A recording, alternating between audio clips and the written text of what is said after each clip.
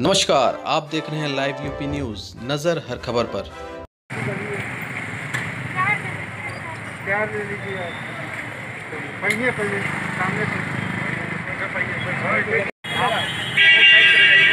हाँ मुकेश जी भी देखिएगा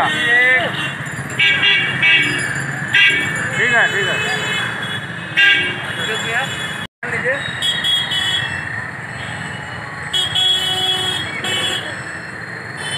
लीजिए हाँ, सामने जाओ सामने। अच्छा लोग को दीजिए भैया। थोड़ा दूर थोड़ा दूर रहिए।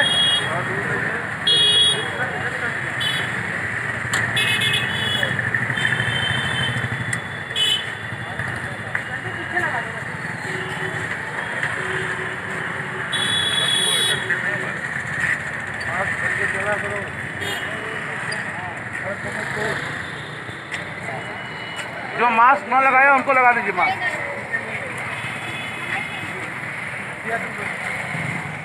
जी, मंगल भी आज कार्यक्रम में आए हैं। क्या कहेंगे आज इस कार्यक्रम के दौरान मैं तो ये कहूँगा कि आज की ये महामारी पूरे विश्व में फैली हुई है।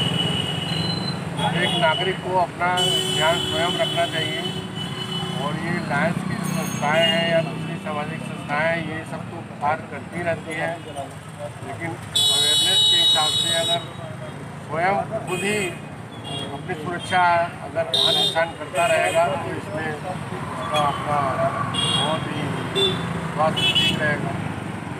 और मैं तो सिर्फ़ यही कहूँगा कि प्रत्येक व्यक्ति को अपनी सुरक्षा खुद करना स्वयं चाहिए करना चाहिए। और अपना माइक ये मास्क लगा के रखें सैनिटाइजिंग करें परिचय?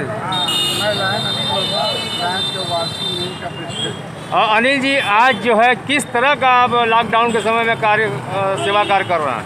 ये हम लोग आज मास्क बांटने का कार्यक्रम है। जी। तकरीबन पाँच सौ मास्क यहाँ पर वितरित कर रहे हैं। और साथ ही साथ यहाँ पर जनता को जागरूक कर रहे हैं।